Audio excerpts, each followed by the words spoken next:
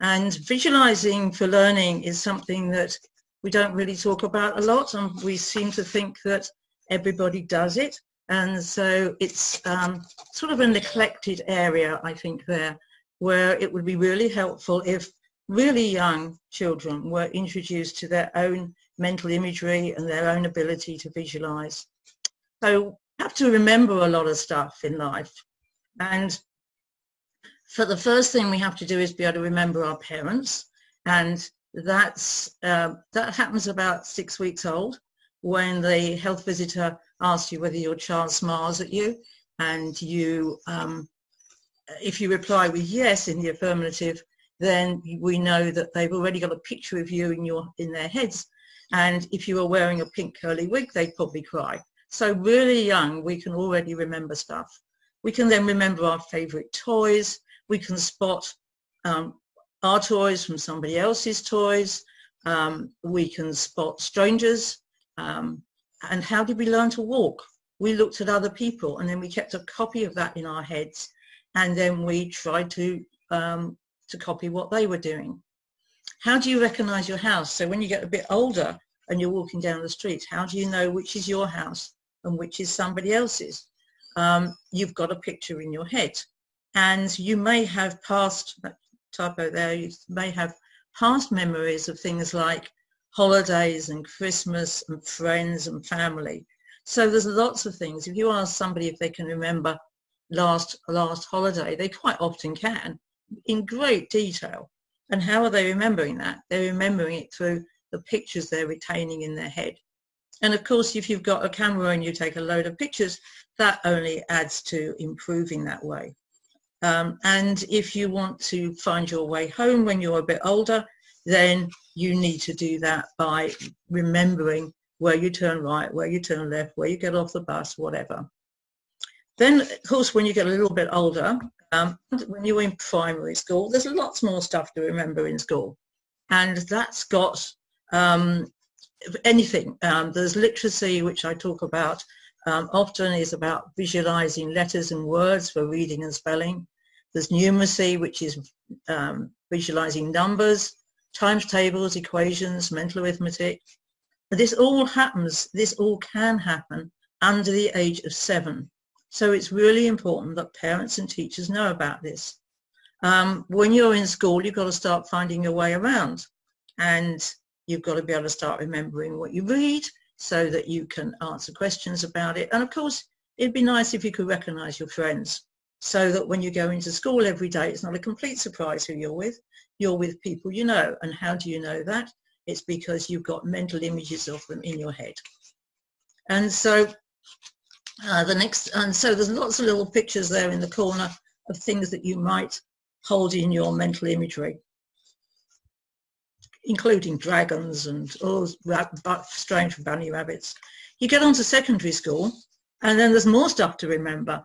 There's things like biology and anatomy. And by the way, I do love the Dorling Kindersley books, which um, explain how things work, because those are nearly always visual with sort with little explanations as in speech bubbles as to what's going on where, especially in the human body. There's geography, um, there's things like maps and volcanoes uh, that are really easy to remember visually. In history, there's things like dates, kings and queens, there's battles, there's what went on in battles, there's all sorts of things like that. And of course, it's in design technology when you're wanting to design your new lampshade or your new bicycle or whatever it is. So you need to be able to know what it's going to look like in the end. And of course, everything in art um, is there's either it, there's two things in art. There's either you can draw a picture of something you're ready to can see in front of you, or you can copy down somebody else's interpretation of it, or alternatively you can make up a brand new picture like some of those ones uh, a couple of slides back where they got um, volcanoes and strange strange animals and stuff like that so you can make up your own ones.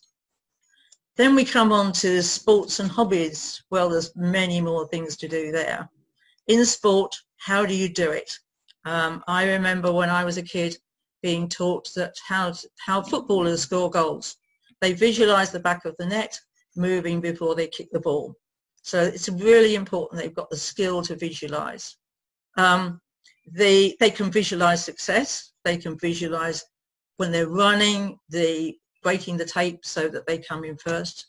They can visualize remembering favorite players uh, in, in their football team. And interestingly, they've got favorite players. And if you turn around one of your favorite football players, they've got their name written on the back and they've got their number written on the back. So you can start visualizing words and numbers. There's all sorts of sports like pole vaulting is the most incredibly complicated thing to um, visualize. If you just think they've got to get a pole, they've got to pick it up, they've got to get a certain amount of strides down the runway, they've got to plant it in the place at the bottom. They've then got to almost climb up the pole, over the top, and then down again. So pole vaulting is an unbelievable uh, example of having great visual memory. Long jumps more or less the same, oh, especially the triple jump.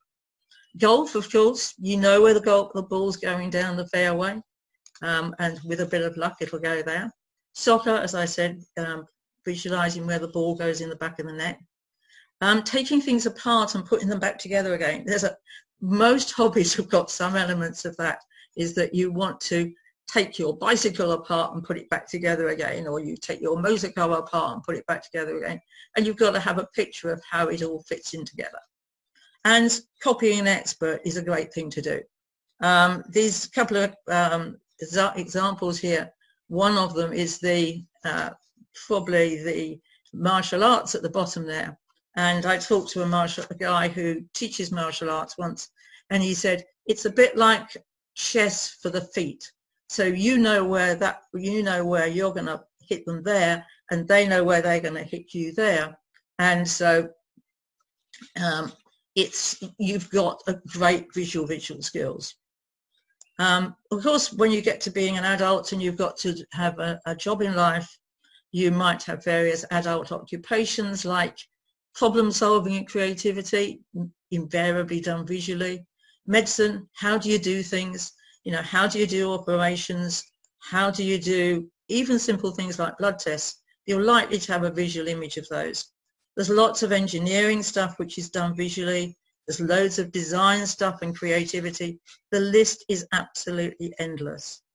And I'll just do a few sports and hobbies. Art, painting from memory, dogs, cats, hobbies. Oh, I said motor cars. IKEA furniture, putting IKEA furniture together without the instructions is a really interesting visual skill. Lots of people can just know what it looks like and then just put it together. Other people have to go through the instructions bit by bit. Dressmaking and sewing, um, another ones, um, if you know what it's going to look like, you stand a much better chance. There's a program on the TV at the moment about uh, a competition for uh, dressmaking, and they've all got great visual images of what it's going to look like. And of course, gardening, recognizing plants and garden design. Garden design is the most amazing thing if you think about it because not only can they look at a, a, um, a garden and imagine what it's going to look like when they've done whatever they want to to it, they also can imagine what it's going to look like in a few years as the plants grow up. And so just amazing. And if some people haven't, some people find it quite difficult. And I'm always very prepared to help anybody to try and improve their mental imagery because it's got so many applications. Right. Um, Simon's comment. I'm always fascinated by the immense power of visualizing success. Yeah, I mean, yeah, we could say that if you visualize failure, then you're likely to get that. And visualizing success is um, is just really important. And even if it's mundane things like visual, if you're making you're making a cake and visualizing what it's going to look like and how it's going to be um, yeah, what the end result is going to be like. I once asked Jamie Oliver when he was cooking whether he knew what um, the dish was going to look like when he finished. And he, I, he looked at me aghast and went, do you think I don't? And so definitely you can visualize anything to do with um, uh, your hobbies of cooking or whatever. Some of the questions, I'll just give you a couple of the questions I get. I can't visualize. That's one of the really familiar ones. Um, I can't visualize is um, normally something to do with your uh, just your imagination of what visualizing is going to be like. For example, you some people have glorious 36 inch color television pictures that they can visualize. Some people have black and white. Some people have just sort of know what something looks like. Some people have got cartoons. So if I say to you, picture a cat, then you're, they may go into Garfield. So they've got cartoons. All of those are right. And it's just a question of how, how much you're using your visualization skills. So don't worry about it. Just do it. Just use it for, and the more you use it, the more you will develop it. I did a class this morning, which I'm going to re-record, which was about visualizing when you're reading so that you can remember what you read. Uh, that's another really useful skill. And if you can't remember what you read, then I do recommend you have a look at that one when I've re-recorded it. Um, Andrea said, I think I was so much more visual as a child. I could write stories, etc. Could any could you lose this ability and why? I think it's one of those things that if you don't lose, use it, then you might well lose it. Um, if you're habitually visualizing, if you think of a child who is extremely artistic, who's, I've got, we got one client at the moment who's habitually now, since I was talking to him and sort of introducing him to his mental imagery, he is now obsessively drawing cartoons continuously. Um, he wasn't doing that before the lockdown. Um, he was doing a bit of it, but not a lot of it. And what he's doing is now he's finding it so much fun, he's doing more and more and more. So I think you, the answer to you, Andrea, is just keep using it and do keep practicing. I've, during the lockdown, I personally have got into drawing cartoons. Um, some of the cartoons you see in my um, presentations are mine. Some of them was another lady who did them for me. And I just love doing cartoons now. I'm reading the Roald Dahl books and I'm doing um, some of the cartoons from there, from Quentin Blake's, I'm copying out of his. Some of them I'm making up my own new ones. And I'm absolutely loving it. It's just a fascinating area to explore. And the more you do it, the better you get at it one of the things that some people say to me is their um, their mental images are much better than they can produce on paper. Well, that's okay too. Um, the people with very, very good mental images, um, you know, 36-inch color TVs, um, have got fabulous mental images. And when they try and draw them, quite often they're not quite as good. And so they get a bit depressed about that and say, oh, I can't draw. But actually, they're the people that have got the fabulous images in their head already, and it just takes practice to get them out. And there's some great books around at the moment about teaching people how to do cartooning and stuff like that. I do recommend things like that. Another thing you might like to consider is that if you think you can't visualize, then just consider what you do when you're dreaming.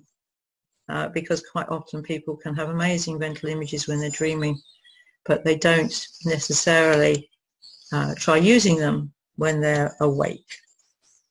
So thank you all for calling